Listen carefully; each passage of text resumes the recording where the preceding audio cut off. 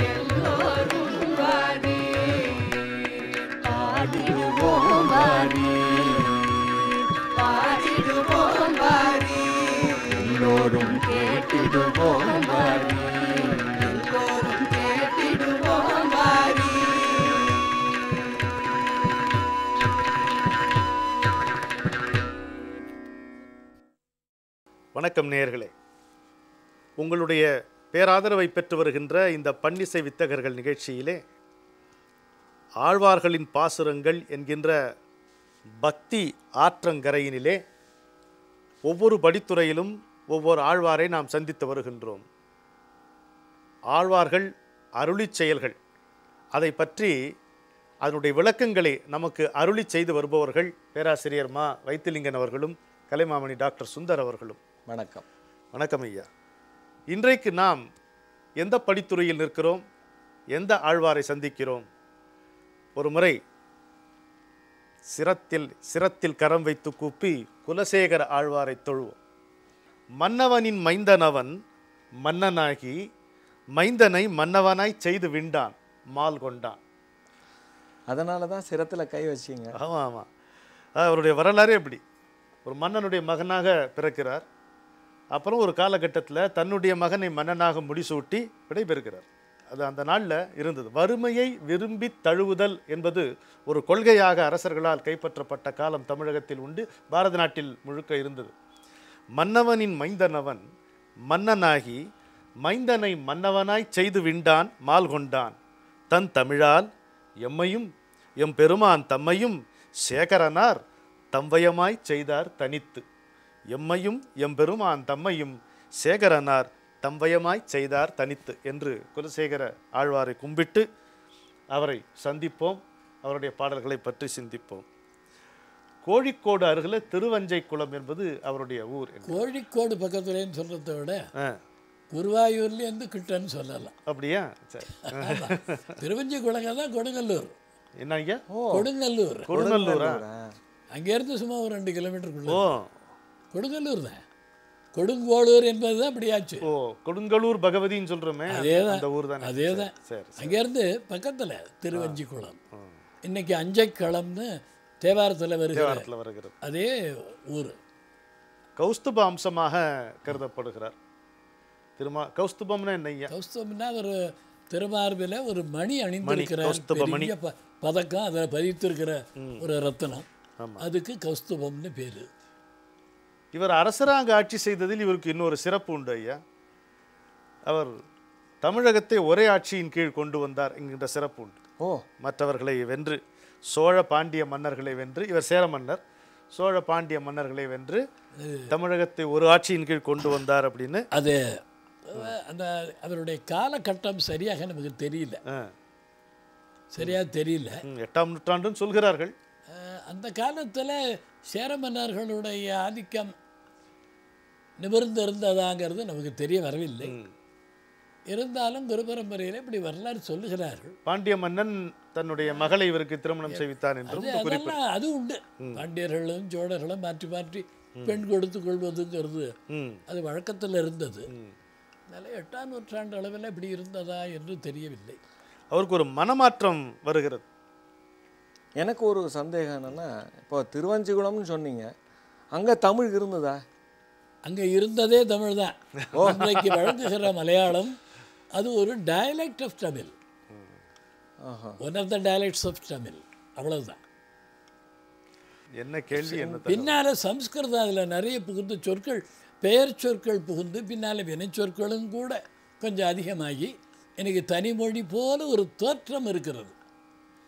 தொல்காப்பியம் கூட அங்க அந்த அந்த பகுதியை சார்ந்த ஒரு பெரியவரால் இயற்றப்பட்டது தான் சேரன் பெரும் சேரன் பெருமாள். சேர சேர நாட்டை சேர்ந்தது தான் தொல்காப்பியம் இல்ல, சேரன் பெருமாள் கூட அந்த அந்த பகுதி தர அதான் உங்களுக்கு வந்து கொடுங்கல்லூர் எங்கே இருக்குது தானே ஆ அந்த ஊர் தான். உங்களுக்கு சிலப்பதிகாரமே அங்கே இருந்தது இரு அதங்கோடுன்னு ஒரு இடம். அந்த அதங்கோட்டில் நம்ம அஹ், தொல்காப்பியருடைய மாணவர் ஒருத்தர் இருந்தார். அதங்கோட்டு ஆசான்னு பேர். அதங்கோட்டு ஆசான். இந்த ஆசான்கிற பேரே நீங்கள் அதிகமாக இதில் தான் பார்க்க முடியும். சேர்நாட்டில் தான் சேரநாட்டில் கோட்டயத்தில் ஆசான்படினே ஒரு ஊர் இருக்குது ஒரு பகுதி. அதில் ஆசான். அந்த ஆசான் இந்த ஆசான்னு நம்ம நிறைய கேள்விப்படுகிறோம். அதனால் ஆசான் என்பது சேர்நாட்டு வழக்கு. எனக்கு இந்த இந்த ஆழ்வார்கள்ல இவர் மட்டும்தான் அவர் அங்கே அரசனா இருந்தாரா? அப்புறம் திருமங்கை வராரு.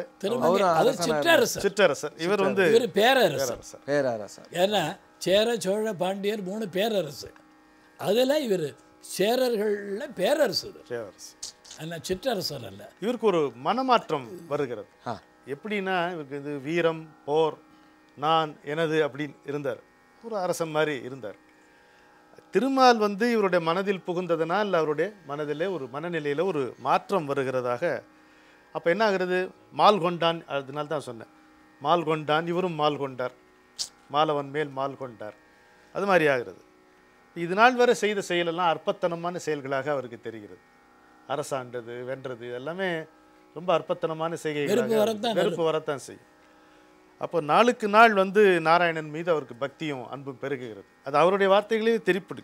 செந்தழலே வந்து அழலை செய்திடினும் செங்கமலம் அந்தரம் சேர் வெம்கதிரோர் அரு வெம்கதிரோர் அரு அல்லால் அலராவால் வெம்துயம் வீட்டாவிடினும் வித்துவக்கோட்டம்மானே உன் அந்தம் இல் சீர்கல்லால் சுகம் குழைய மாட்டேனே அப்படின்னு அவரே பாடுகிறார். அவருடைய எப்படின்னா அந்த ராமாயண கதையை பரு பிறர் சொல்ல கேட்கும் பொழுது ராமர் வந்து சீதையை மீட்பதற்காக அரக்கர்களுடன் போர் புரிய முனைந்தார். உடனே உடனே சேனாபதியை கூட்டு வரான். போலாம் வா படையை திரட்டு அப்படின்ட்டு.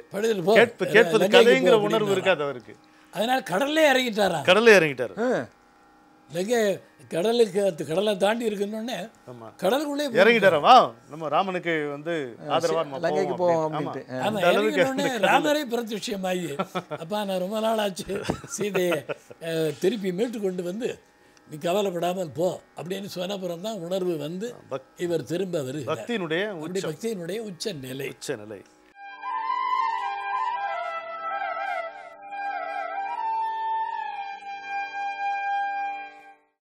டாக்டர் ஐயாவுக்கு பிடித்த ஒரு தகவல் இருக்கு. ஸ்ரீரங்கம் திருப்பதி காஞ்சிபுரம் இந்த மாதிரி திருத்தலங்களுக்கு யாத்திரையாக செல்கிறார் குலசேகர பெருமான். ஆ. எங்கே இவர் வந்து உடல் நீத்து இறைவனோடு கலக்கிறார் என்றால் மன்னார் கோயில் என்று குறிப்பு சொல்லுகிறது. பல கோயில்களை இவரும் சேர்ந்து தனியாகவும் பிற ஆழ்வார்களுடன் சேர்ந்து மங்களாசாசனம் செய்திருக்கிறார் கோயில். மங்களாசாசனம் அப்படின்னா என்னது? அருளி செயல் தான் மங்கள ஆசாசனம் இவர்களாலே அது பெருமை பெறுகிறது மங்களம் பெறுகிறது. அப்போ இந்த அதாவது ஆ. பிரதிஷ்டை பண்ணுகிறோம் கோயிலில். ஒரு புதுசாக கோயிலை கட்டி அங்கே ஒரு தெய்வத்தை பிரதிஷ்டை பண்ணுறோம் இப்போ சில பேர் பிராண பிரதிஷ்டைம்பா தமிழில் அதுக்கு பேர் கடவுள் மங்கலம் ஆஹா. அப்படின்னு பேர். கடவுன் மங்கலம் ஆமாம் இங்கேயும் அதுபோல் இறைவனுடைய பெருமையெல்லாம் ஒரு இடத்துல பதிவு பண்ணுவதற்கு மங்கள ஆசாசனம். அப்ப இது பிரதிஷ்டை தானா ஐயா? நீங்க சொல்றது பார்த்தா. பிரதிஷ்டை தான் மங்களாசாசனம்னா பிரதிஷ்டை செய்வதா? மந்திரம் இல்லையா? மந்திரம். மந்திர பிரதிஷ்டை பண்ணிவிட்டாருன்னு அர்த்தம். பாருங்க அருமையான ஒரு தகவல் இப்போ. அப்போ பிற ஆழ்வார்கள் கூட போனதாக எல்லாரும் இருக்கு. எல்லாரும் சேர்ந்து சேர்ந்து போய் சேர்ந்து போயிட்டு இருந்தாங்க தனியாகவும் பிறரோடும் அதாவது தனியாகவும் பிற ஆழ்வார்களோடும் சேர்ந்து பல இடங்களுக்கு சென்று திருத்தலங்களுக்கு சென்று கோயில்களுக்கு மங்களாசாசனம் செய்திருக்கிறார். சரி அவர்கள் காலத்தில் அவர்கள் போயிருக்கிறார்கள் ஐந்தாம் இவர் பல ஊர்கள் கண்டவர். ம், குலசேகர பெருமாள். ஆமா. ஐயா ஐந்தாம் திரு ஐந்தாம் திருமொழியிலிருந்து ஒரு அற்புதமான பாடல். சொல்லுங்க. தருதுயரம் தடாயேல் உன் சரணல்லால் சரணில்லை. விரை குழுவு மலர்ப்பொழில் சூழ் வித்துவ கோட்டம்மானே. வித்துவ கோட்டுன்னு எழுதியிருக்கோம். ம்ஹும். வித்துவ கோட்டம்மானேன்னு சொன்னா நம்ம வித்துவக்கோட்டுங்கிறது ஊரா? ஊர். ஆமாம் விற்றுவக்கோட்டுங்கிறது விற்றுவக்கோடுங்கிறது ஊர். இப்போ அம்மா வந்து கோபிச்சுட்டு குழந்தை பாடு அதுட்டு தலையிரு அப்படின்னு சொன்னா அகற்றிடினும். அகற்றிடினும். கு- கு- குழந்தை என்ன குழந்தை சரிதான் அப்படி போயிடுமா குழந்தை? அவருடைய அன்பு அருளை நினைச்சே அப்படி அழுது ஏங்கிட்டு இருக்குமே. ஆமா. அப்படித்தான் நான் இருக்கேங்கிறாரு அது மட்டும் இல்லை அவன் முழங்கால தானே கட்டுவான். முழங்கால தானே கட்டு அம்மான்னு அம்மானு போய் அவளை தானே கட்டுவான். அவன் அடிச்சாலும். ஆமா. விரை குழுவு மலர்ப்பொழில். விரைனா இல்ல, இல்ல. வாசனமா ஆ, சொல்லு விரை குழுதும் மலர்ப்பொழில் சூழ் விற்றுவக்கோட்டம்மானே வாசனை கமழ்கின்ற விரை குலவு விரைன வாசனை. பொழில் சூழ்ந்த வித்துவக்கோடு. அந்த வித்துவக்கோட்டில் பெருமான் இருக்கிறான். தரு துயரம் தடாயே. நீ தான் கொடுத்த துன்பம். நான் குழந்தை. நீ கொடுத்த துன்பம் அந்த தரும் துயரம் தடாயேல். நீ தடுக்க அந்த துயரத்தை தடுக்காமல் இருந்தால் உன் சரணல்லால் சரண் இல்லை. எனக்கு வேறு போக்கு கிடையாது. உங்கால தான் கட்டிக்கிறேன். பட் அவருக்கு அப்படி ஒரு துயரம் இருந்ததா? இல்லை இல்லை. பிரிந்திருக்கு இறைவனை பிரிந்திருக்கிறது ஓ இறைவனை பிரிந்திருப்பது துயரம். அது வேறு எந்த இன்பமும் அதை நிறைவு செய்யும் அவனோட இரண்டா இரண்டரை கலப்பதற்கு இந்த உலகமே தடையாக இருக்கிறது. தரு துயரம் பாரு. நீ தான் கொடுத்த அந்த கொடுத்த துயரம் தானே. நீ கொடுத்த துயரம். நீ இது எடுக்கலைனாலும் ஒன்றை விட்டு நான் போக மாட்டேங்கிறாரு. துயரம் நான் தான் நான் போக? அடைகின்ற வறுமை பெணிய கடன் அடிமை இதுல இன்னொரு சரணாகதி. அடி இல்ல இன்னொரு குறிப்பு பாருங்க. ச- சடாயுதா ஆமா இந்த துயரம் நீ கொடுத்தது இப்ப நீ களையலைன்னா வேற எங்க போய் களைய முடியும்? வேற எங்க போய் களைய முடியும்? ஆமா. நீ தான் இதை களையணும். அதனால உன்னை விட்டு நான் நீங்க மாட்டேன். சரணல்லால் சரண் இல்லைன்னு அப்படி அதான் சரணல்லால் அப்படியே ஒப்படைத்து விடுது அரிசினத்தால்ங்கிறார் பாருங்க. அவ்வளவு கோவம் வந்துருமா? அம்மாக்கு சில சமயம் வர்ற கோவத்தை பார்த்தா பெரிய கொண்டுட்ட ஒன்று அப்படின்ட்டு பெருங்கோபம். அப்படி பெருங்க அப்படி இருந்தாலும் அவருடைய அருளை நினைச்சு தானே ஏங்கி இருப்பேன்ட்டு. என்ன அருமையான ஒரு பாடல் என்ன அருமையான இதை தான் இந்த பத்து பாசுரத்திலையும் சொல்றார். திரும்ப திரும்ப திரும்ப. நெஞ்சை உருக்குகின்ற இந்த அருள்மயமான பாடல் சண்முக பிரியா ராகத்தில் அமைந்திருக்கிறது.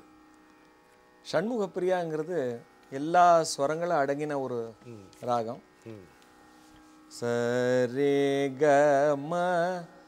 பத நிச சனி தப மகரி ச எல்லா ஸ்வரம் இருக்கு சம்பூர்ண ராகம். நிறைய உருக்கமா பாடலாம். அதனால தான் இந்த இந்த பாட்டு இந்த ராகத்தில் அமைஞ்சிருக்கு. பொருத்தம். பொருத்தமா இருக்கு. சத நீ தப மக நீ தப மகரி சரி க மகரி ச நீ சரி கரி ச நீ ரி சத நீ சரி ரி சரி க ம பத நீ தப ம பத நித நிச நீ சரி ரி சரி க ம க கரி சரி ரி சரி ச சனி த நீ த ப ம பரி சனி ச த நீ த ப ம க ம ப த ப ம க ரி ரி ந ரே ரே ததரி ந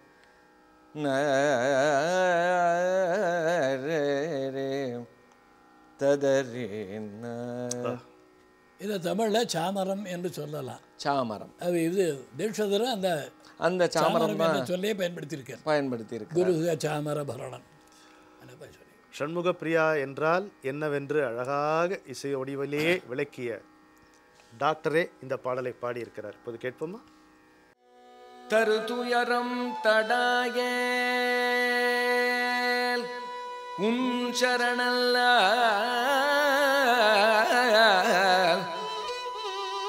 சரணில்லை.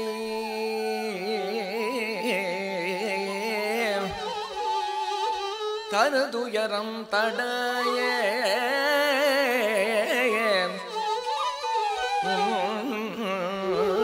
சரணல்லால். சரணில்லை. வீரை குழுகும் மலர் பொழில் சூழ்.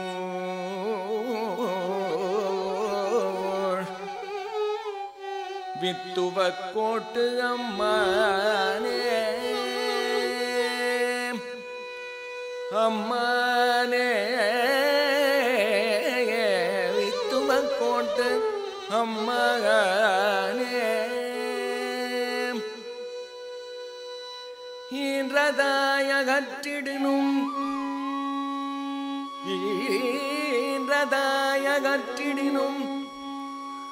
அரிசினத்தால் ஈன்றதாய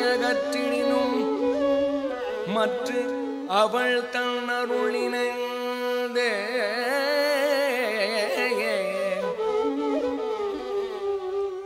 அவள் அருள்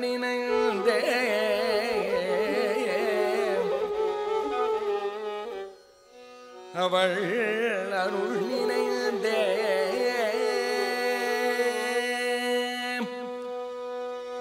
அழும் குழவின் அருள் நினைந்தே. அழும் குழவின் அதுவே போன்று. அழும் குழவி அதுவே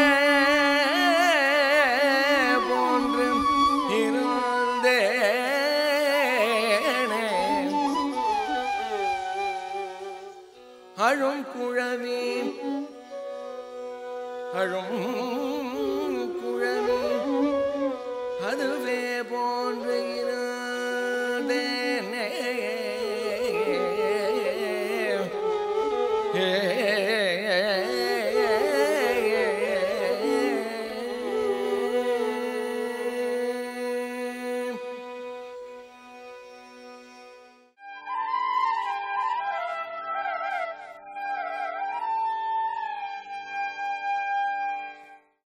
யா அடுத்த பாசுரத்தை பார்ப்போமா ஆனாத செல்வத்து அறம்பெயர்கள் தற்சூழ வானாளும் செல்வமும் மண்ணரசும் நான் வேண்டேன் யான் வேண்டேன். ஆனாத செல்வத்து அறம்பெயர்கள் தற்சூழ வானாளும் செல்வமும் மண்ணரசும் யான் வேண்டேன். தேனார் பூஞ்சோலை திருவேங்கடச் சுனையில் மீனாய் பிறக்கும் விதி உடையேன் ஆவேனேங்கிறார்.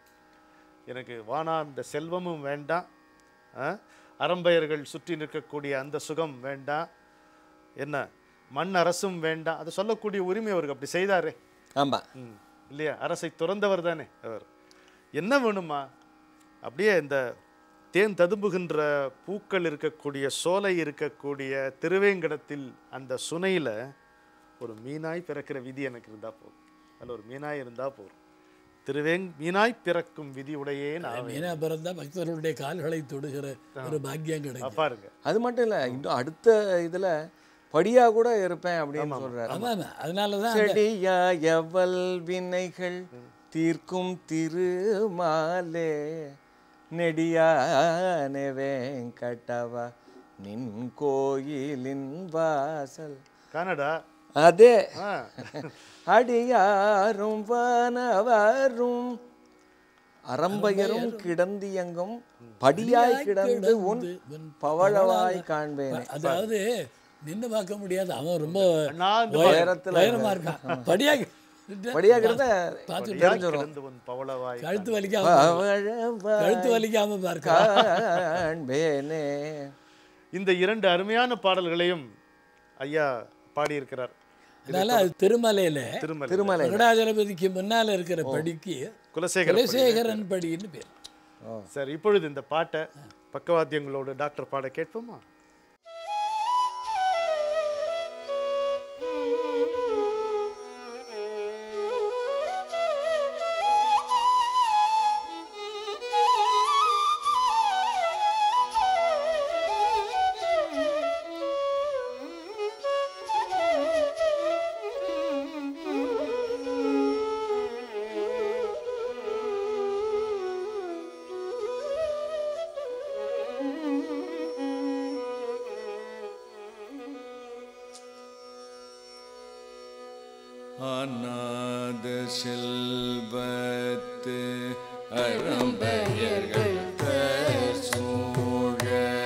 அநாத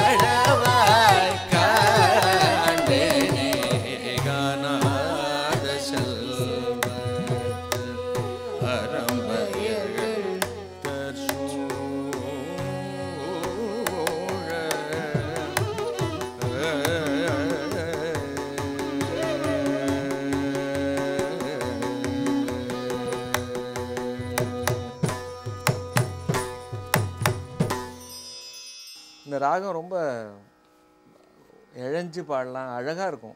ரிப்பக ஆனால் ரொம்ப வக்கர வக்கரமாக இருக்கும். ரேக மத மதனி ப மணி ப மப க கம பரி ரே சரி க கம ரி ச நீ சத நீ சரி ரி ரி நீ ப க கமத நி ச நீ ரே ச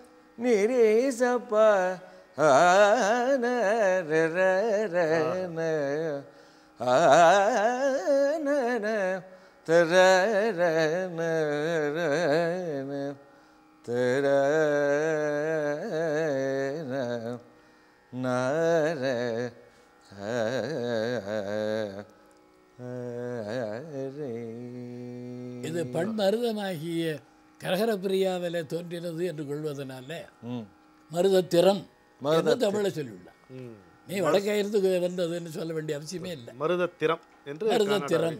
சொல்லிட்டு போங்க.